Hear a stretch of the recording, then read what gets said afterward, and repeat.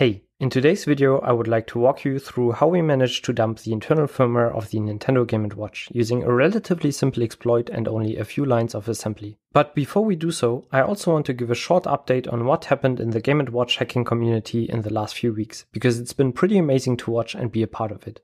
Now, as you probably know, roughly two weeks ago, we released the tools that allow anyone with basic hardware hacking skills and decent knowledge of software development to back up the firmware of the device. We also released resources for developing and flashing custom homebrew for the Game & Watch.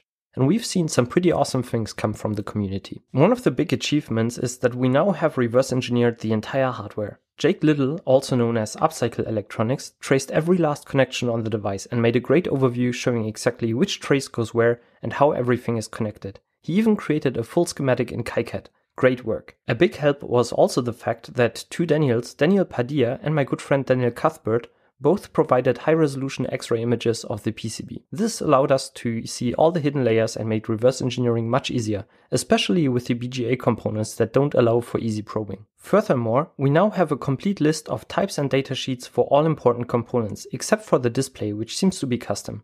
But as it's fully working, this is not a problem. Sander Vanderwell, in the meantime, even designed a custom 3D printed backside for the Game & Watch, which gives room for an easily accessible debug connector, without having to modify the original backside. The files are available on Thingiverse, and so if you have a 3D printer, you can easily print your own. Also on the hardware side, DNA64, Conrad Beckman, who I hope you are following on Twitter and YouTube by now, and me have replaced the original flash chip, which only has 1MB of storage, with a larger 16MB one and we found that the Macronix MX25U12835 is both compatible with the stock firmware while also being fast and easily usable for homebrew development. These flash chips cost less than $3 and are really worth the investment. Though note that to put it in, you will need some experience in reworking PCBs and equipment such as a hot air soldering gun. There's also a project that aims to build a custom motherboard for the Game & Watch with an FPGA instead of a microcontroller. This would be pretty awesome as it would allow cycle exact emulation of processors and would also otherwise be awesome for experimentation. Others are planning to build a PCB with an ESP32 on it, which would give you a fast processor with Wi-Fi and Bluetooth capabilities. Now let's talk about software, which also has seen some great progress. On the NES and Game Boy emulator side, we now have standby support, so when you press the power button, your current game state will be saved to flash and resume when you turn the device back on. As we are storing to flash, this also means that your game is saved even when your battery runs out. Conrad also implemented different screen interpolation methods, so that now all games run in full screen, and during compilation you can set different interpolation methods. In the future, we will make this configurable in the on-screen menu. Speaking of on-screen menu, Conrad and me started working on a ROM chooser menu based on the original RetroGo code, which now allows you to select different games when turning on the device. This is quite far from being finished, but we are doing our best to get it fully working. If you want to support our efforts, there's also now a Patreon where you can support us and will also allow you to join some Patreon only Discord channels and even allow you to vote on some future video content. Another awesome project comes from Alfonso Luna. He ported a Chip 8 emulator to the Game & Watch, which comes with a couple of arcadish games such as Snake, Flight Runner, and so on. Pretty fun, and you can also add your own Chip 8 ROMs. Then Cyanic came around, and he actually built a binary patch for the original firmware that fixes the language bug that the device ships with. So he is basically providing patches for an officially non-updatable device. I also know that there's a lot of other software in the works, such as an emulator for the original Game & Watch games, and so I'm pretty excited to see what else will get released soon. We have also received a ton of patches for the different scripts we published and have a great support community on Discord that helps new developers getting on board. We are also in the process of creating detailed instructions on how to use different debug adapters to backup and flash the Game & Watch, and Dean Huffman even already created a guide on how to exactly use an STM32 Nucleo board to hack the Game & Watch. I'm also excited that a talk about the Game & Watch has been accepted to this year's Chaos Computer Club Remote Congress, the RC3, so stay tuned for that. Now let's talk about how we actually managed to dump the original firmware of the Nintendo Game & Watch. After I teamed up with Conrad, we immediately started discussing how we can potentially access the internal firmware.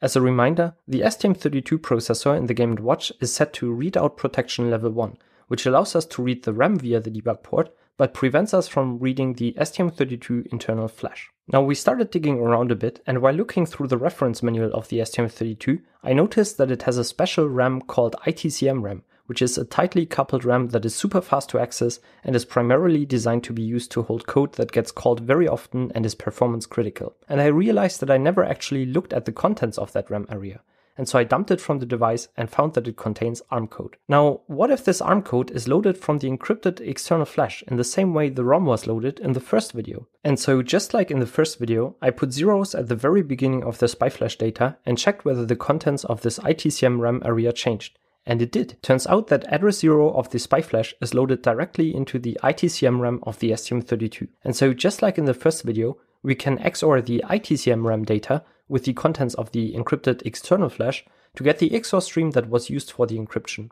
This then allows us to encrypt our own code that will be loaded into the ITCM RAM area. Now a big problem is we don't know which code of this ITCM RAM area will be executed. Like we don't know whether the firmware will jump to address 0, address 200 or whatever.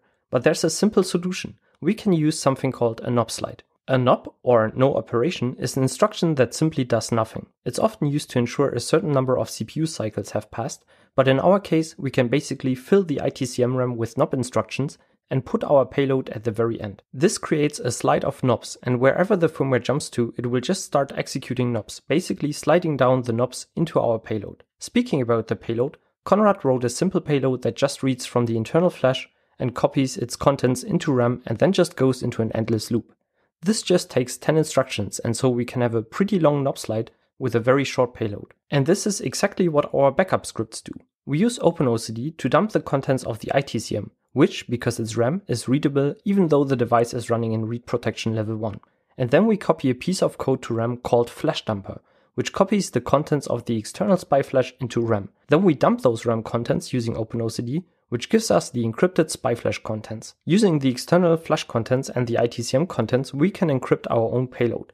Next, we copy another small tool called FlashLoader to RAM, which writes our encrypted payload into the external flash. When we reboot the device now, the firmware will decrypt our payload and copy it into ITCM RAM. As soon as our payload gets called, we get a copy of the STM32's internal flash in RAM which we then can dump using the debugger. And now we have a full backup of the device. We have the SPI flash contents and the internal firmware. And so now, even if we unlock the processor, which will cause a mass erase, we can always go back to the original firmware. As you can see, this exploit is quite simple, and so we were really excited to be able to provide a relatively simple backup solution for other interested hardware hackers to use. Now, this is not yet ready for use by non-developers, but there are some projects in the works that will make putting Homebrew onto the Game & Watch much more accessible, and I'm really looking forward to that. I hope you enjoyed this video, and if you're interested in supporting more work on the Game & Watch, please check out my Patreon. Thanks, and I hope to see you on this channel again soon.